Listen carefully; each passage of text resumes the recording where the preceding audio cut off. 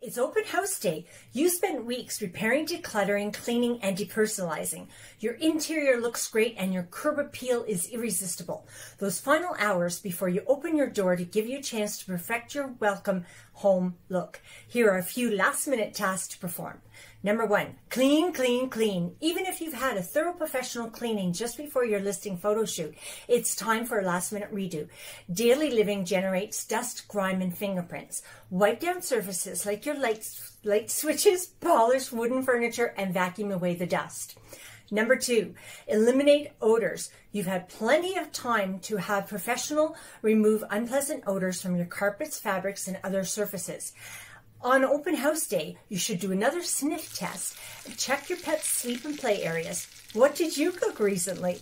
Eliminate odors using professional grade deodorizing solution or a machine. Number three, Refresh the staging.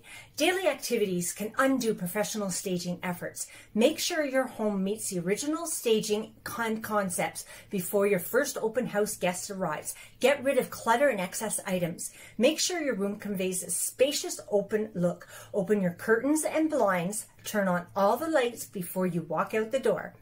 Number four, straighten storage areas. Potential home buyers will open your closets, pantry, cabinets, and cupboards. Do a last minute check to make sure all of your storage areas look neat and tidy. Keep everything off the floor of your storage. Number five, revive your landscaping. The day before your open house, mow and edge the lawn, remove fallen leaves and debris, trim your hedges and prune away dead leaves from the shrubs, hedges, and plants or call in a pro to do it. In the wintertime, it's just the same. Shovel the driveways and walkways and put down salt for your guests. Number six, relocate your pets and their stuff.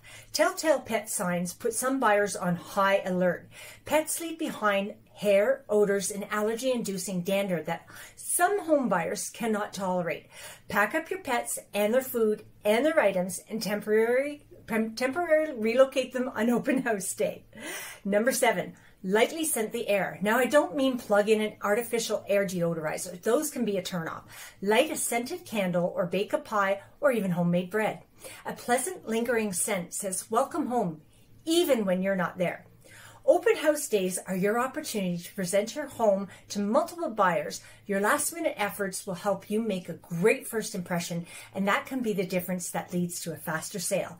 When you are ready to list your home for sale or even get ready to get started, I'll be there to discuss how I can make your selling your home much easier.